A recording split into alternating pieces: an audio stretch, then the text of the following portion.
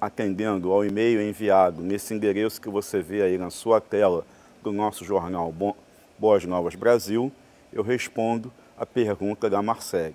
Marcele, a caderneta de poupança ainda continua sendo um bom investimento. A caderneta de poupança ela é isenta de imposto de renda, ela é garantida pelo governo até 250 mil reais, o que significa dizer que se você tem uma caderneta de poupança em um banco e o banco por qualquer razão quebra, deixa de honrar, você vai ter a garantia de um fundo garantidor de crédito que é controlado pelo Banco Central, pelo governo federal, ou seja, você não corre o risco de perder o seu dinheiro. Mesmo com a queda da taxa de juros e a poupança rendendo menos, a poupança vai render algo em próximo de 6,5% ao ano. Isso, atualmente, é mais do que o dobro do que a inflação que nós temos registradas no, no país através do IPCA, que é um índice oficial de preços calculado pelo IBGE.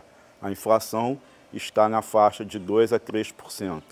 Você sabe, né? hoje em dia, as contas correntes do banco, a maioria deles já é vinculada à própria caderneta de poupança. Aquele dinheiro que dorme na conta, que sobra na conta, já é automaticamente investido. E se ficar 30 dias, ele já rende alguma coisinha. Além disso, a caderneta de poupança, ela não exige que você saia de casa. Você não precisa assinar contrato, falar com o gerente, baixar documento na internet, preencher ficha, ou seja, a aplicação na poupança ela é vinculada a quem tem conta corrente bancária. Basta você marcar pela internet uma opção de investimento na poupança.